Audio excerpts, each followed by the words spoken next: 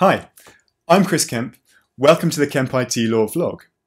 This vlog is about the rapidly developing world of UK drone regulation. Now it's well known that both the commercial and non-commercial uses of drones is booming. For instance, the number of approved commercial drone operators in the UK by, grew by about 10% in 2019.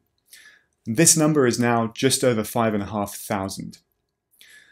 Unsurprisingly, the UK regulatory regime is working hard to keep pace with this change, and 2019 has seen a number of interesting developments.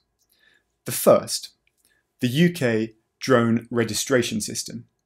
From the 30th of November 2019, anyone flying a drone weighing between 250 grams and 20 kilograms must register with the CAA and pass an online competency test.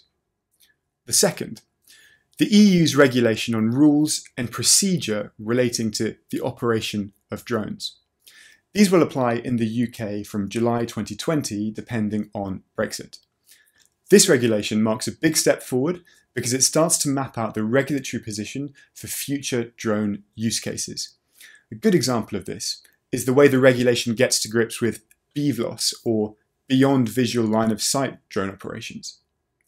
In the coming years, we expect this direction of travel to continue, and that regulation will work hard to keep pace with coming changes. In particular, we expect to see lots of new technical guidance and rules relating to U-Space, which is a European project to integrate drones into existing commercial airspace and air traffic management operations. Thanks for watching. For more information, please see our related blogs and vlogs at kempitlaw.com.